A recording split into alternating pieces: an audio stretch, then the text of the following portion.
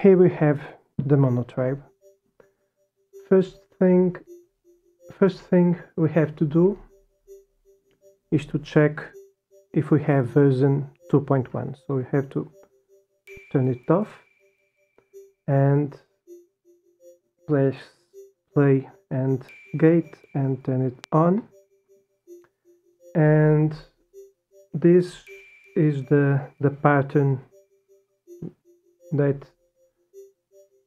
you must observe if you have version 2.1x uh, this last lathe uh, it's something a little bit different. They don't explain in the manual so uh, I cannot even say how, now this is going to for activating the CV gate input.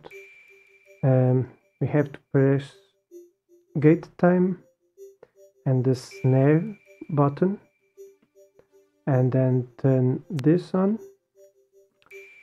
So step one on is CV gate input. I already used it once.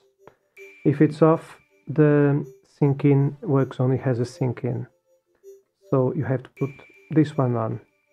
Um, LED 2 is for the um, if you want to use uh, volts per octave or, uh, or hertz per volt um, the microbrute uses um, volts per octave so I'm going to leave this one off. And uh, the gate polarity can also be off. Um, uh, finally there's something you still have to do on this mode which is to pick up your uh, output or input plug it in the sync in.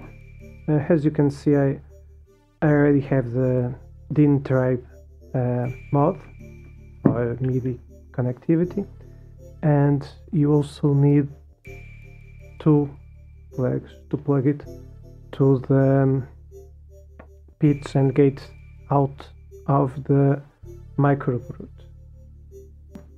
Uh, you can use these um, 8 inch 3.5 millimeter uh, stereo jacks to connect them. It is not the most recommended way to do this. You should use Eurorack patch cables that are the mono version of this, so they only have the the the jack is like the, the ones on the mini brute. They only have the the tip and the sleeve. Um, I couldn't find them uh, easily, so I'm going to use this one and perhaps order some from Amazon or something that delivers here.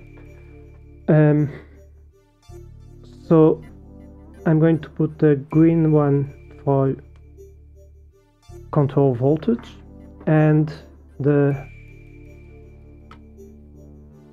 black one for gate and now we have to connect them uh, to the back of the microbrute.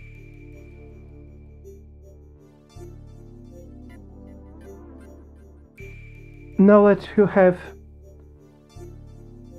these ones, the two connected, you need to put the C4 note, I think is this one, and press play to so this is a calibration procedure. You need so you press C4 and you press the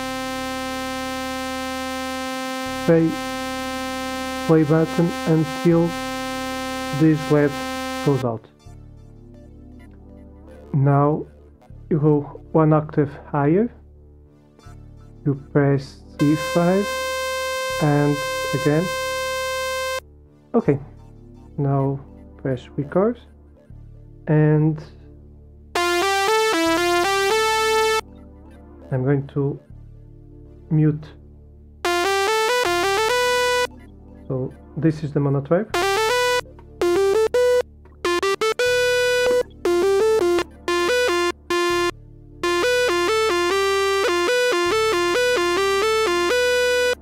As you can see the CV output doesn't glide so you can have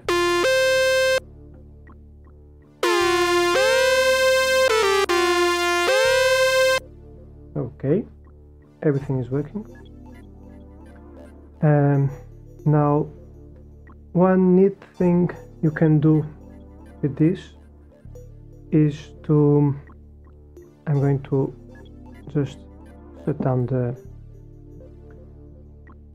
plug from the monotribe is to actually feed the output of the monotribe to the external audio input of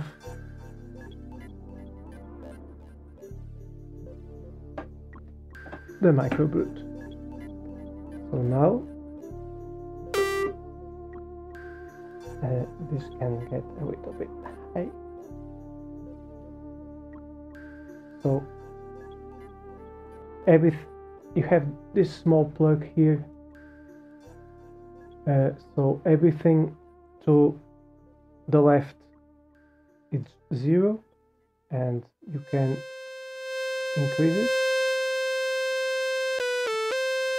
Which means that you have one filter two filters. So you basically can do a lot more and um,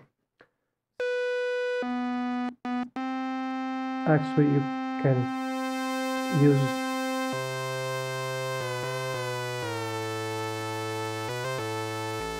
the monotribe has a second third oscillator. You can